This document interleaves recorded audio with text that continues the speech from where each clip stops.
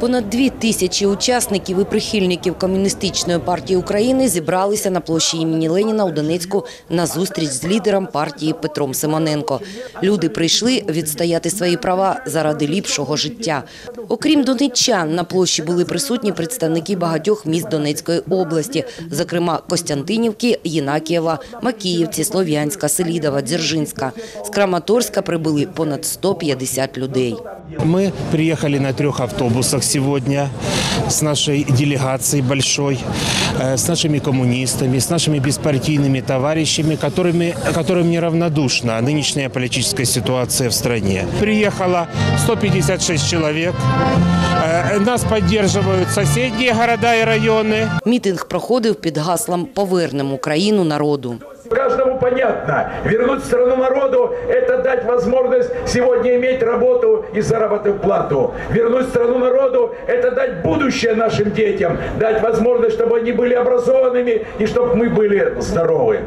Я убежден, что каждый из нас сегодня, думая над тем, что вернуть страну народу, это значит, надо отстранить от власти олигархов и вернуть во власть тех, кто является творцом. Не тех, кто пожирает и жирует, а тот, кто создает, производя те или иные ценности в шахте, на металлургическом предприятии, на электростанции, в поле с утра до вечера спину гнет. Те, кто является тружениками, должны быть хозяевами в нашей стране. Зі сцени лідер комуністів говорив про проблеми, що хвилюють кожного українця, особливо незахищені верстви населення.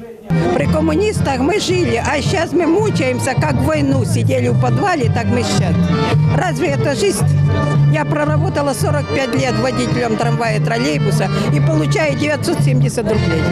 Можно это э, за все платить, и я болею вот бесконечно, а какое лекарство? Освіта, медицина, ціни на продукти і товари, закриття і приватизація підприємств, здорожчання тарифів на комунальні послуги. Проблеми знайомі кожному пересічному громадянину. Шляхи виходу з ситуації, які пропонує партія комуністів, знаходили жваву підтримку серед присутніх на площі.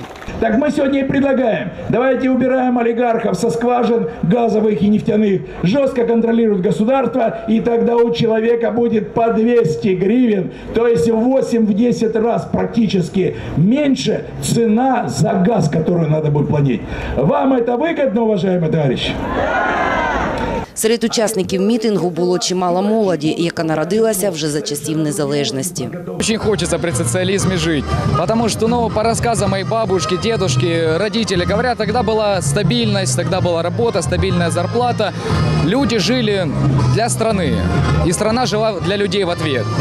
Ну а сегодня что мы имеем? Сегодня при капиталистической системе человечество живет по принципу «человек человеку волк». Завершився мітинг прийняттям звернення жителів Донбасу до Кабінету міністрів України та керівництва Укрзалізниці з вимогою відновити рух пасажирських поїздів, зокрема приміських, по Донецькій залізниці та відмінити підвищення цін на проїзд у поїздах.